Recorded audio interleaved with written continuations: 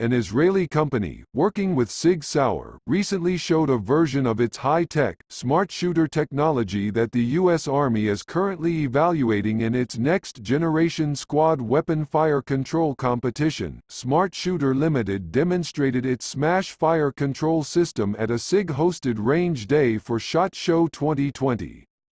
The Smash is designed to help improve the accuracy of any shooter engaging stationary or moving targets in both day and night conditions, said Devin Schweiss of Smart Shooter Inc. The Smash allows you to acquire, lock on and engage targets using a weapon-mounted optic and special pistol grip that allows the weapon to fire only when it's a guaranteed hit, he said.